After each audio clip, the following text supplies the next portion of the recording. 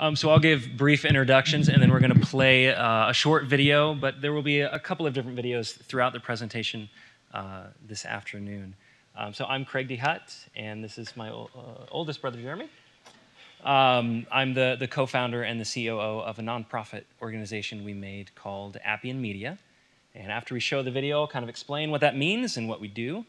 Um, but I, I wanted to start and, and thank you, Earl and, and Doris, and all of you for welcoming us to this. This is our first time, and uh, this has been really neat. The atmosphere has been amazing. You all have rolled with things so well. Thank you for adjusting. Yes. Everyone's been so flexible. Um, so thank you for being so gracious. Yeah. So we're going to play a short video, and uh, then we'll get talking.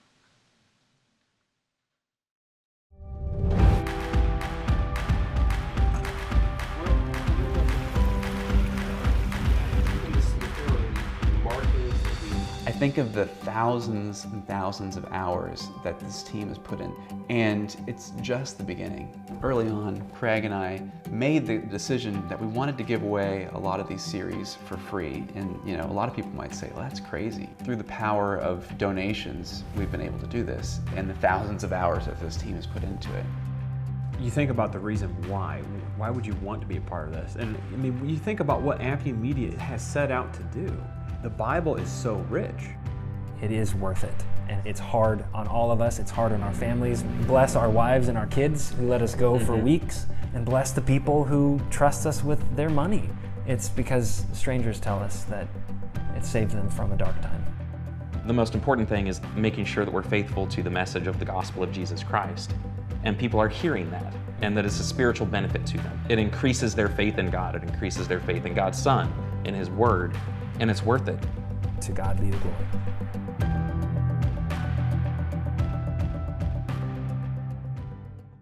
So you all have you all have shared stories about how how God's been working in your life and how things got started with what you all do and I think we could all share a story like this where you go into perhaps a meeting or an encounter and you expect a certain thing and then God kind of turns it into something else. So in 2015, my wife and I had recently moved to Indianapolis. Uh, she's here, Karen, and they didn't want us to reference them. I'm not going to make oh. them stand up or raise their hands, but our wives are back there supporting us.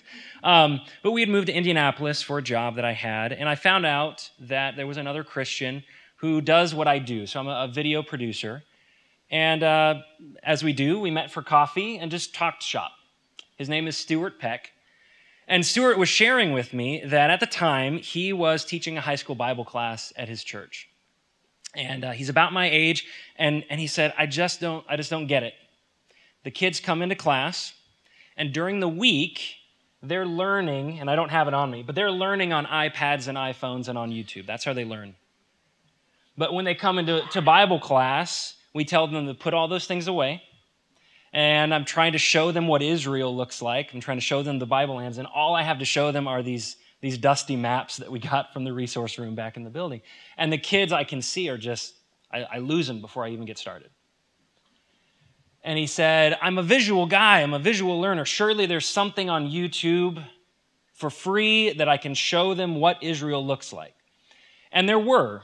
Uh, there are plenty of, of videos where there's an individual who's whose lecturing in Jerusalem might happen to be behind them somewhere, but it didn't, it didn't help communicate how amazing the place is and how real and alive the place is. And so Stu said, and I'd known him for less than a month, he said, This is going to sound crazy.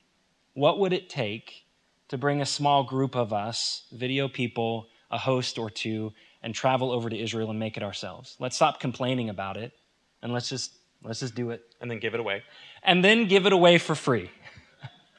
and, uh, and I said, Yes, Stuart, that is crazy. I mean, that's nuts. How do we do that? How should we do it? And so in 2016, we launched a Kickstarter campaign. It's a crowdfunding mechanism on, online where you can say, We're trying to make this project. Will you help support it? And uh, we asked for $40,000, which for any of you who have traveled to Israel before, you know we were not asking for enough. But we asked for $40,000. And over 200 people responded to a group of people who had never been there before, promising a video with no footage to show them that we could do it. And over 200 people responded with $65,000 and said, go over there and do that. So that was, that was in, the, in March of 2016. We took our first trip to Israel in July, mm-hmm. June of that year. And we created a series um, called Following the Messiah. And before we get there, I want to talk just briefly about what the word Appian means. And, and for those of you familiar with the Bible lands, perhaps you've heard of, of this. The Appian Way um, is a Roman roadway, was a Roman roadway that, that originated in Rome and spread throughout the nations that they had been conquering. Um, the best of its kind, where they could bring their commerce and their military and connect these nations in a way that had never been done previous. Stu and I believe, and our team believes, that we have an Appian way in the 21st century, and it's the internet, and it's video, and it's media. It's this roadway that's been built. It's already there, and it's been built uh, for different purposes. Some people are using that roadway in, in ungodly ways. Hollywood's using media in, in terrible ways. But the roadway is there, and the tools are there, and so we created Appian Media to make use of that roadway. And it goes back to the verse that you see up there, where Jesus, as he's nearing his earthly ministry, nearing the end of his earthly ministry, pulls his apostles together and gives them a commission we're all familiar with. He said, You have a job to do, and it's a big job. I want you to go not just to Jerusalem, but everywhere. Well, how could they do that? And I can't speak for God, but the wisdom of God seems pretty apparent here. He chose a period of time where almost everyone was speaking a unified language in Greek. And a roadway had been built connecting nations that had never been connected before. And he used miracles and he used unlikely people, and they did. And we're trying to do the same thing in the 21st century. And so we created, we took two years to do it, two trips to Israel. Uh, each trip's about two weeks. Mm-hmm. And uh, it's not a vacation, it's not an Israel tour. It's, it's very hard, grueling work where we visit as many sites as we possibly can and we create this series. So, Following the Messiah is a 10 episode series, uh, about 30 minutes each episode, and it's free to watch online. And it shows you the places that Jesus taught and, and lived and died and rose and uh, we believe it's, it's powerful. Searching for a King, and hopefully everyone got a copy of the, the DVD mm-hmm. and, and the workbook. If you didn't, we've got a few more copies here. Um, uh, tag one of us and we'll get it. Searching for a King is about the nation of Israel and about the kingdom of Israel, um, starting with, with King Saul and David and Solomon. We found as we were researching this that apparently academia tries to write that whole period off and say that David wasn't really real. He was more like a, maybe a King Arthur kind of legend, but probably not a real person. And he certainly didn't rule as big or as substantial as the Bible claims. And there's no proof of Solomon, and on and on. And so we set out to look at the proof and the evidence. And so this is a five episode series um, where Jeremy and uh, another man on our team, Barry Britnell, who leads tours over to Israel, the two of them walk us through these places and especially with Searching for a King, they interview archaeologists and, and individuals there who are digging up faith affirming proofs literally out of the ground every day.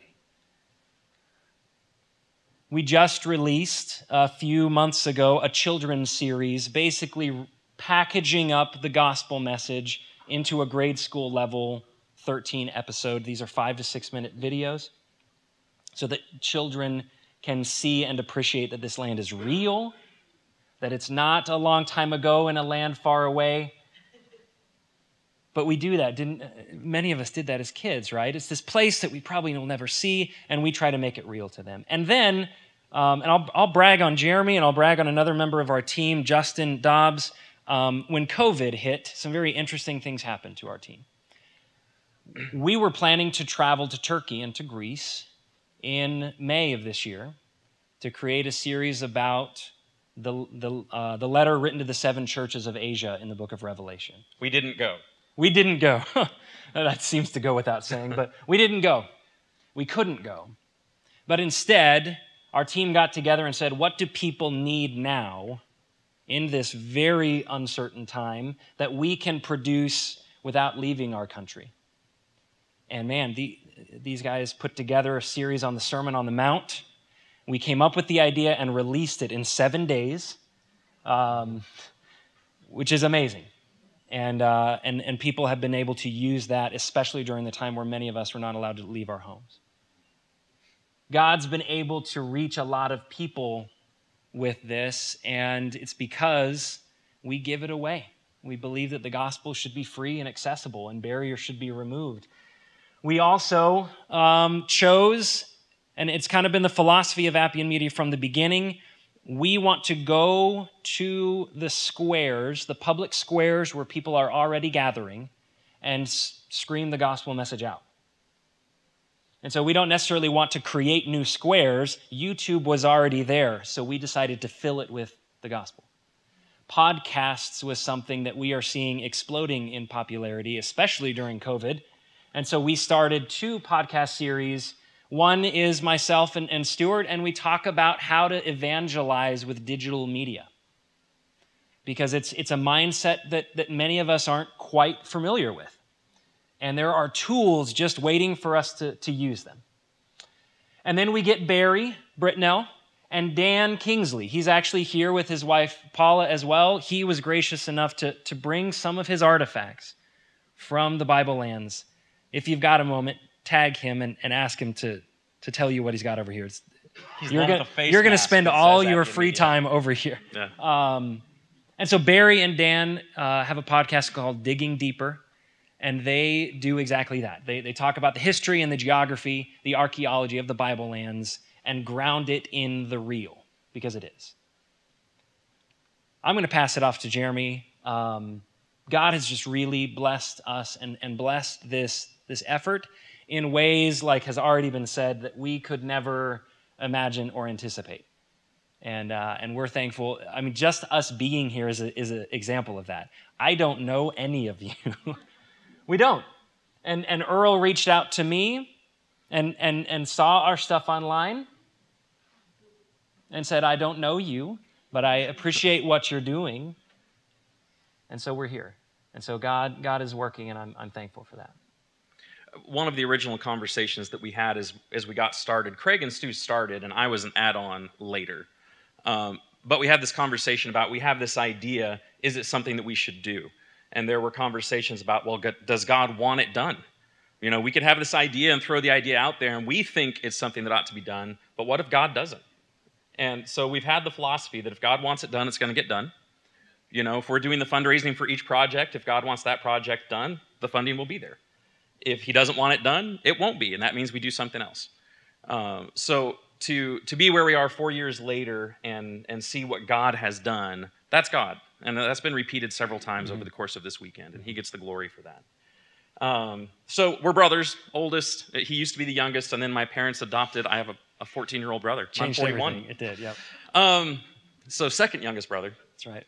When, when Craig and Stu started talking about following the Messiah and who was going to host and co host, um, they had several names in mind. They had several criteria that they were looking for. One was, what sucker can we get to do this for free? um, he's like, I know a guy. I know a guy. I know a guy. Um, who, who has a job that will allow them to travel for two weeks without pay like that. Um, for 20 years, I've been in the ministry, uh, serving local churches as a located evangelist, counselor, Bible teacher. Um, I've done college campus studies, five years in prison ministry, um, volunteering in there, and I'm very grateful for all of those opportunities. And so through the course of that, Craig was aware of my work, and there were several guys that they had kind of try out who do we want to do this. And um, I, I, must have snuck them a little bit of something, but I got to go. Um, and at the, at the time, the only focus was following the Messiah. We're just trying to do a project. And then we sat in the airport going, what are we, what are we going to do after this? And so many other ideas came out. The, the timing, um, I'll back up for a second. I knew Craig and Stu were having the conversation about this project. They were having it in late 2015. we had just moved to Birmingham, Alabama to work with a church that, that had been through some things and they really, they just needed a break. Um, so Anna and I decided that's where God wants us to go. We went down to Birmingham, Alabama. Um, for us, we needed a change of scene because at the end, not the end, but in 2013, um, we lost one of our kids. We're, we're the parents of six children, uh, some biological, some adopted. Two of those children were special needs. And so we really re- related to the song about being in that room. I mean, I've had my hand on the chest of two sons who passed. And so in 2013, our first son passed. And then in 2015, our second special needs son, his health was declining. And he was getting ready to go into hospice. And we were exhausted. And there were some generous, generous people that saw that my wife and I needed a break. And so they sent us to Israel. They sent us to Israel on a tour group. And I wasn't leading, I wasn't teaching, I was just a guy in a seat taking it in with my wife with no other responsibilities for two weeks. But I knew Craig and Stu were having this conversation, so I was taking notes for them. And when I came home, I said, you don't, you don't need me to filter all of this. You need to talk to the guy who led my group. His name is Barry Britnell, great guy. Um, and so it got to the point where we had that conversation, and a couple months later, our second son passed. And Craig offered the invitation Do you want to go? And I just didn't, I wasn't convinced about the timing because I had an oldest son who had just lost two brothers. He had just become a believer, and I didn't want to leave him. And the guys all talked about it, and they agreed that he could go. And so we had to come up with the funds to cover his cost, but we put him to work but one of the reasons that I asked that was if I can do this, and you say yes, that he can go, I want to help shore up his faith. And what better way to do that than taking him with us as we create this apologetic material on the land of Israel and the reliability of the Bible? And so Keenan, who's now 17, he's going into his senior year, um, just applied at a, at a Christian college down in Florida for when he graduates, and praise God for that. Um, went with us for two years to help create that material. And it's just, it's been a blessing. Um, it's been a blessing personally um, to see how it has affected my family to make those trips and create these resources. But it's not just with us. Up to this point, I think Craig and I were working on these numbers this last week. Um, our media has been viewed over half a million times. There are two million plus minutes that have been viewed. You can track how much people are watching, how much of a video, when do they stop. It's been shown in 160 countries.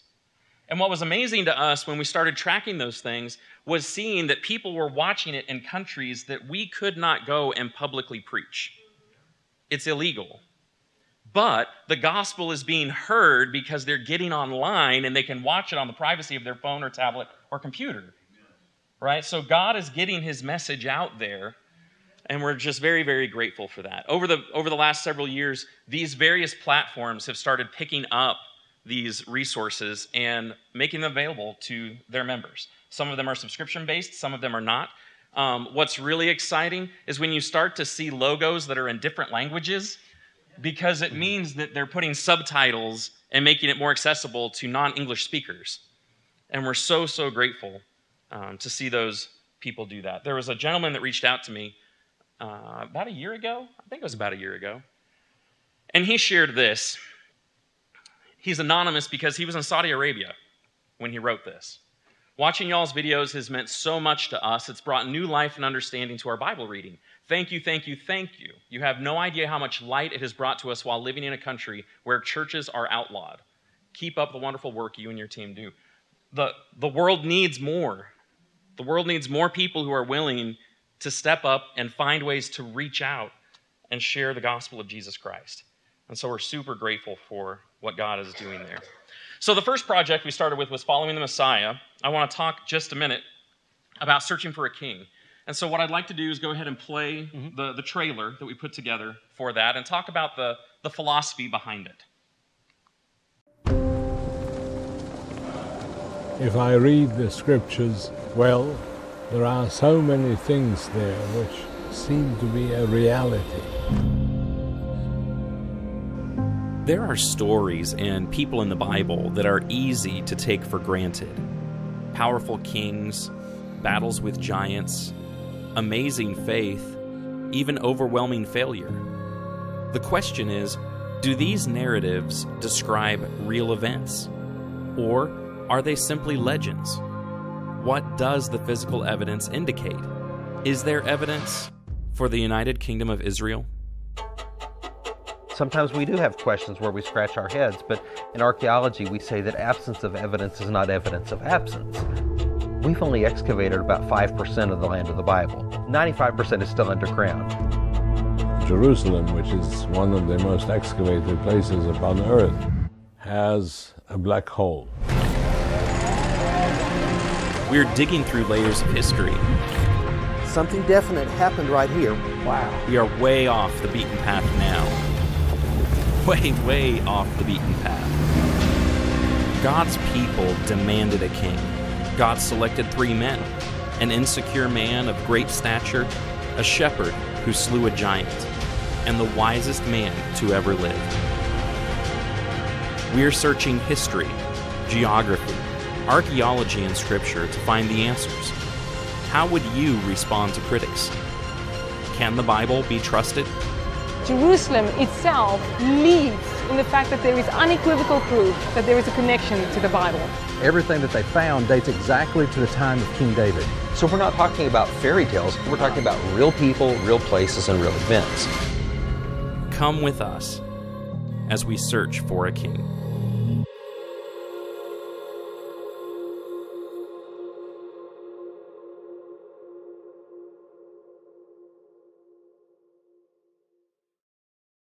And we had audio problems there. So what we ran into, what we talked about. Sometimes there are potholes on the Appian Way. Oh, that's right. As we sat in the conference room talking about what do we do after two years of the life of Jesus, where do we go in our Bibles? We talked about how we had spent so much time in the New Testament focusing on the most important part, which is the life of Jesus. But what about the Old Testament? And so in our in our personal experiences, especially on college campuses or in evangelistic studies, the, the Old Testament is a big black hole for people, um, especially when you start getting into the major and the minor prophets. But when it comes to the historical figures of Saul, David, and Solomon, there, there was a push among academics, especially in the, the 80s and the late 80s, to say that that was a myth.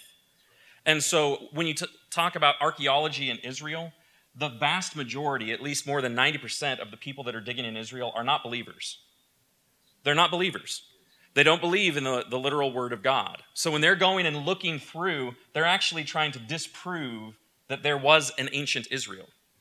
And so as we talked about all of those factors, we said, well, what if we do a docu-series on whether our text is reliable and whether the Bible really talks about an ancient Israel? Was there a Saul, David, and a Solomon? Let's go and do that.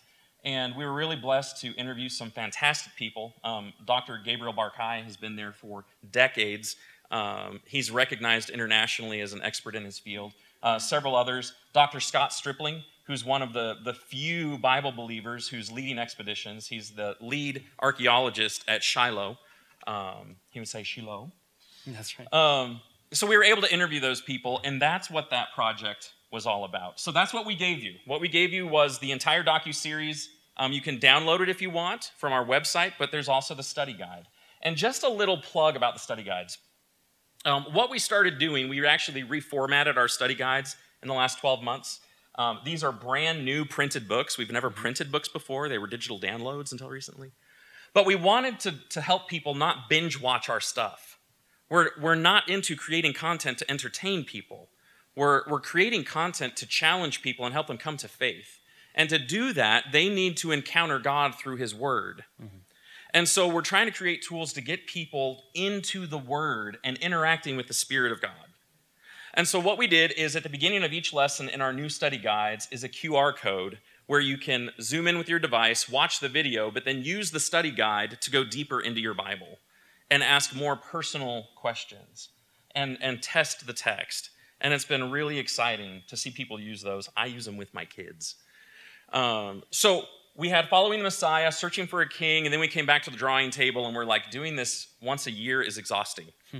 We need to have a longer term vision. Like, what are all the projects we're trying to do for the next five, for the next 10? And so, what we did is we sat down in 2019, the spring of 2019, and it was a pitch party. We all came to pitch different ideas about what content are we going to create next. And one of the ones that really stood out was our projects up to this point, following the Messiah and searching for a king, have, have they've done the job of trying to demonstrate the reliability of the biblical text. They're apologetic in nature. The text is reliable. Jesus was a real person. He really did live in Israel. He was a carpenter's son. He existed. He was crucified. He rose. And then you get to searching for a king. Saul, David, and Solomon were real people. Their kingdoms were real places. You can go and see where they were. But something started going on in 2019. Um, a couple of things. Hostility toward Christians was increasing and became more obvious in media. So, if you remember in 2019, uh, especially around Easter time, there were the bombings in Sri Lanka at churches where between 200 and 300 people were killed. And that was not an isolated incident. And then on top of things like that, I was I was having conversations with my oldest son who was going into his junior year of high school, and someone had recommended this to me, and I sat him down and I said, You've got two years left at home. And our church is great. I'm grateful for what our church family does, but it's my job as your dad to make sure that you've been exposed to as much of God and His Word as possible. Where are your gaps? As we look at the Bible, where do you think your gaps are? And guess what he said? Major, minor prophets, and Revelation. And I said, Well, let's kill two birds with one stone. You and I are going to start studying Daniel to get ready to study Revelation. Right? And so that's what we did. He and I started meeting every week in a coffee shop. He started bringing his friends, and by the time we were done, we had 12 people crowding out of Starbucks studying through Daniel and Revelation. And so we pitched the idea to the guys, and they said, That's great. How are we going to do that? Like, where do we go to shoot all the beasts? Where do we go to? and so this is what we decided to do. Yeah. What we decided to do was to help establish that the biblical text is not just reliable, but it's relevant. It's relevant.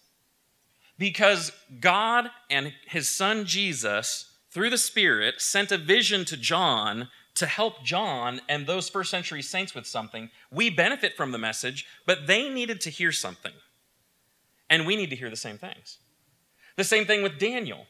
Daniel needed to hear things, but we need to hear the same things. And so we decided to do a, an introduction to Revelation. And there's this fantastic quote I came across by David Powlison. I'm not sure how many of you have read his works. I really love his stuff. He said this In the economy of God's instruction, things that he said and did with desert shepherds in the ancient Middle East proved directly instructive and encouraging to urban Greco Romans one or two thousand years later. You remember Romans 15:4? The things that were written before times were written for our instruction. And they prove the same for us today, yet another couple thousand years along. Wildly different circumstances are not fatal to significance and relevance. I love that. I am not a desert shepherd. I'm a kid who grew up on the West Coast in Oregon, liberal Oregon, with a bunch of tree huggers. Okay? But what they needed to hear is what I need to hear. He went on to say there is no temptation that is not common to all, 1 Corinthians 10:13. And that common to all spans centuries and millennia, not just people groups or gender. Yet no situations or persons are identical. The merciful Father comforted Paul in his troubles, making him able to comfort those facing any trouble, 2 Corinthians 1 including you and your troubles, so that you can help those in any trouble. This dynamic of the living and omni adaptable word creates one of the many joys of the Christian faith. It also makes you game to tackle any problem, however unfamiliar, dark, and contorted. Amen? That's powerful. And so, the next video project, as an introduction to Revelation, we want to look at what, what was it that Jesus wanted to imprint on John about himself. Because as you start going through the first three chapters, there's something that Jesus really wanted to engrave on their hearts early on as he continued to address what they were about to face and what Christians down the road in history would face. So, for example, let's go ahead and play the trailer, and then I'm going to get a little uh, preacher like on you. Temptation, power struggles, compromise, persecution these obstacles to faith can feel isolating and unique, but disciples of Jesus have been facing these hurdles since the beginning. How were early Christians able to endure even triumph over them. My name is Jeremy DeHutt. Join me as I explore seven special cities where a group of first century churches received a deeply personal letter written by an exiled apostle who was given an awe inspiring vision from Jesus himself. Let's discover what timeless principles this powerful letter holds for believers everywhere.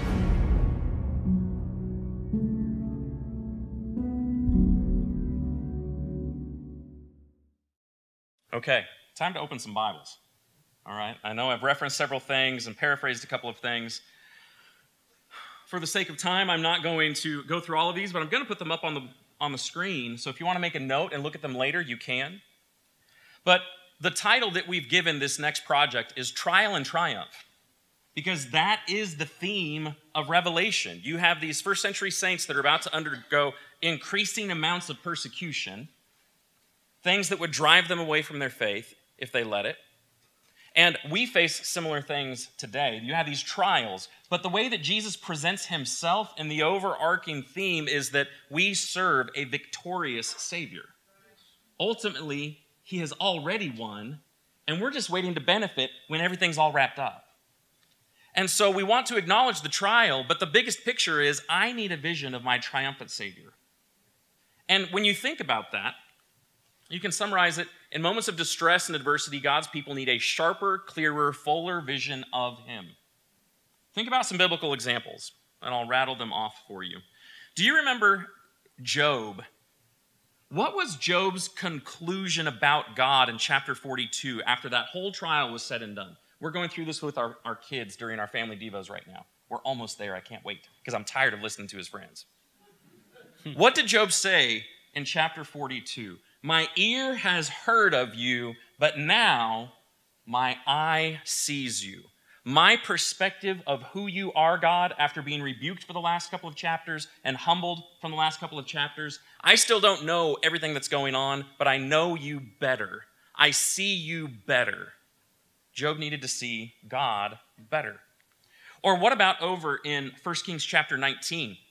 1 Kings chapter 19, you have Elijah who is just beat down and tired and discouraged. And God sends him out for an encounter. And God shakes him and rattles him and makes loud noise. And you see fire, and then there's this calm, calm, quiet voice. And he compassionately interacts with his prophet who needs a better vision of God. And he needs God's vision of what's going on. There are people here who still believe in me that you don't see yet, but I see them. Trust me that I see them. Elijah needed a better vision of God. Or what about? What about Ezekiel chapter 1? Ezekiel's vision of the wheel within the wheel, God's incredible chariot that comes rolling in while he's in captivity with the rest of the Israelites. And the message and the job that he's about to be given is one that no preacher wants. I want you to go preach to a bunch of people who think they're going to be okay in a couple of days and tell them they've got 70 years to go. And I want you to go tell them knowing that they're not going to listen. Go. Along the way, your wife's going to die, and I'm not going to let you grieve her. What do you think a man like that needs in order to be able to do the job well? He needs Ezekiel 1. He needs an awe inspiring vision of the God who's not simply looking at Jerusalem. He's the God of everything and everywhere, and he shows up in captivity to help Ezekiel drop to his knees. Ezekiel needed a clearer vision of God before he started his ministry. Several times in the book of Daniel, several times in the book of Daniel, you have, you have God give a vision of himself to Daniel. It's actually language from Daniel that's borrowed and used by John in the Revelation. So much of that, especially in, in Revelation chapter 1, Daniel needed a clear vision of God, and not just of God, he actually had a vision of Jesus in John chapter, uh, Daniel chapter 7. Right? Think about the first century Christians. Let's bring it a little bit closer to the context, the historical context of Revelation. What did, what did God bless Stephen with in Acts chapter 7 as he was being martyred for his faith? A vision of Christ. A vision of Christ standing up beside the throne of God. And after he receives that vision, he's, he's encouraged to hang on and endure. And twice before he dies, he calls out to Jesus as my Lord, my Lord. And in one of those instances, actually prays for the forgiveness of the ones killing him. because of his vision of Christ, right? And then what about over in Hebrews chapter 12? As Paul is encouraging those saints who are discouraged and thinking about walking away from Christianity.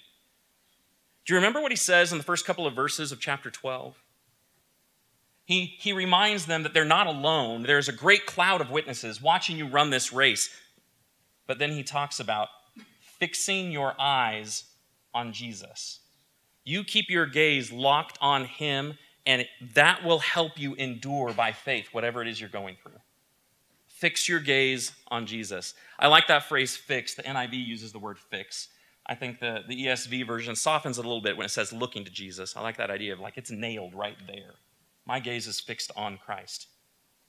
So, that's, Lord willing, that's the goal. We have been planning and waiting and waiting for an opening and countries that'll let us come in without 14 days of quarantining. Um, we were supposed to go in May and then we were supposed to go in September, and now we're trying to get there before the end of the year. Who knows what God's timing is? If God wants it done, it'll get done. Yeah, so we need your prayers for sure. Please. Um, d- d- from the very beginning, it's always been if this is what He wants, and we Yeah. usually say that in regards to the funding. Yes. But if this is what He wants, He'll He'll make it happen. Right now, we're saying that in regards to the the countries being willing to to let us come in, and uh, it's needed. I, I I hope Jeremy just uh, I'm excited about this. Jeremy's working on the outline of the video that I see in my head that he sees in his. But I hope you guys are excited about this. Uh, we just need to get over there and do it. And so The point is, it's relevant. We need Yep. this. We need this. We need a greater vision of Jesus. And so do the rest of our churches. Mm-hmm. And primarily, Revelation is written to believers. What happens in Revelation is meant to help drive repentance among non believers. And we certainly hope that that happens. But believers can grow weary, and believers can let their gaze drift from Christ. And so, as we thought about last year in Sri Lanka, we thought about my son and him heading off to college. I want his eyes nailed on Jesus. That's where I want his gaze fixed. And we're hoping to produce this and help people think about that as they continue to study through Revelation. This is just the introduction. Yep. So, thank you for that for that time. I'll turn it back to you. Uh, I just want to thank you all for the opportunity. Uh, we're so encouraged um, by what you all are doing, and we hope that that what we've provided to you is encouraging. And there's there's hours more. There's hours more online that you can watch and read and study. That's And, right. Uh, yep. Um, I don't know if time permitting. Um, Five I know we're up. minutes. um, typically, we open it up for questions. And that normally usually involves the question of is it safe to travel to Israel? And I'll answer that right off the back and say, yes, it is. Um, yeah, who, I'm sorry, 31 trips? Was that? Yeah. 31 trips. So, yes, it's yes, it safe. is. It is safe. Um, Um, but if you'll permit us a, a few minutes, we'd be willing to maybe answer a, a handful of questions. That's, I love that. I love that. This always happens. This always does. No one wants to No one wants out. to ask a question, and that's okay. It always takes one person. Yep. And if we don't get it, we're not going to burn time because lunch is waiting. Lunch is waiting. Lunch is waiting. Yeah, someone's eyeballing me like I'm in the way. And by all means, through through the Oh. free time. Um, wait, I'm sorry. He's waving. Like he's waving. There, there he is. I'm going to be teaching kindergarten through sixth grade Bible. Is is it good to use these videos for that? I, I think. Lessons from the land. Um, that would be the most geared toward that age group. Um, so the study guides that are written, especially following the Messiah, it's more of a uh, high school age, college age, adult level book. But we've had people take them and simplify all of it. So Yeah. think of it as a teacher's guide that you can make use however you want. And the, the videos themselves, I, I mean, uh, Karen can tell you, I test them on my own family. I have three children at home uh, six, four, and two. And they'll watch all the videos all the way through. Yeah. And uh, they will, the two year old sometimes has a little trouble. But my six year old loves the story of the, the Good Samaritan because now he can see where that would have occurred.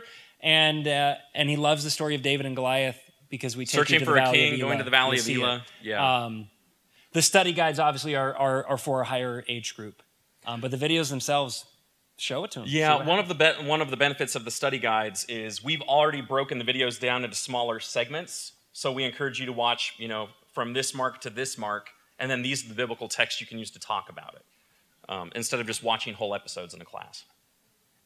Very good. Yes.